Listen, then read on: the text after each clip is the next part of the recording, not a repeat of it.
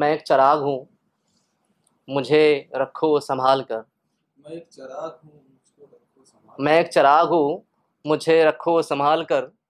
होने लगेंगी शाम तो मैं काम आऊँगा। वाह वाह भाई वाह। मैं एक चराग हूँ मुझे रखो संभाल कर। होने लगेंगी शाम तो मैं काम आऊँगा। इसी तरह से सर एक शेर है। कुछ एहसास है आपके हवाले करता हूँ कि विरासत बांट ली जाए। मोहब्बत से तो अच्छा है। विरासत बांट ली जाए मोहब्बत से तो अच्छा है ये वरना ऐसी दीमक है जो रिश्ते चाट जाती है।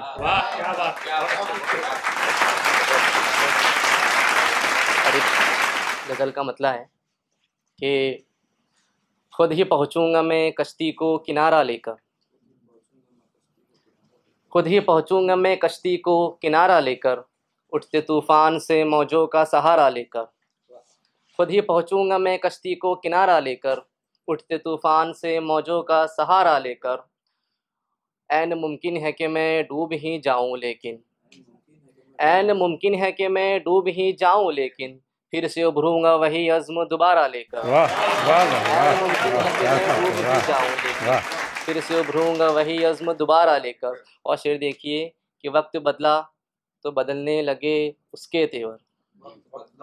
वक्त बदला तो बदलने लगे उसके तेवर जिसने पहना था कभी मेरा उतारा लेकर। वक्त बदला। वक्त वक्त बदला तो बदलने लगे उसके तेवर जिसने पहना था कभी मेरा उतारा लेकर। और शेर आखिर कि आसमां पर ये सितारे सभी ये शम्स कमर। आसमां पर ये सितारे सभी ये शम्स कमर। सारे रोशन हुए हैं नूर तुम्हारा लेकर। आसमान पर ये सितारे सभी ये शम्स कमर। सारे रोशन हुए हैं नूर तुम्हारा लेकर। और एक मतलब और एक शेर है कि अपनी पहचान बनाने में ज़रा वक्त लगा। अपनी पहचान बनाने में अपनी पहचान बनाने में ज़रा वक्त लगा मंजर आम पे आने में ज़रा वक्त लगा। अपनी पहचान बनाने में ज़रा वक्त लगा मंजर आम पे आने में ज़रा वक्त लगा। मीठा लहजा वो मोहब्बत व मरवत अखलास मीठा लहजा वो मोहब्बत व मरवत अखलास खुद को इंसान बनाने में ज़रा वक्त लगा। मीठा लहजा वो मोहब्बत मरवत को इंसान बनाने में ज़रा वक्त लगा।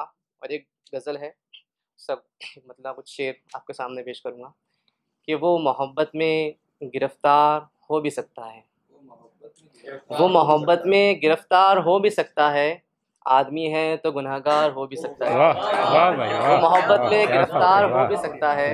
आदमी है तो गुनहगार हो भी सकता है और वक्त के साथ बदलते हुए देखा है उसे। वक्त के साथ बदलते हुए देखा है उसे। आज दुश्मन है तो कल यार हो भी सकता है। वक्त के साथ बदलते हुए देखा है उसे। आज दुश्मन है तो कल यार हो भी सकता है। और आखिरी शेर इस गज़ल का। कि हाकिम वक्त की जो मैंने शिकायत की है। हाकिम वक्त की जो मैंने शिकायत की है अब मुखालिफ मेरा अखबार हो भी सकता है। हाकिम वक्त की जो मैंने शिकायत की है अब मुखालिफ मेरा अखबार हो भी सकता है। जी बहुत शुक्रिया।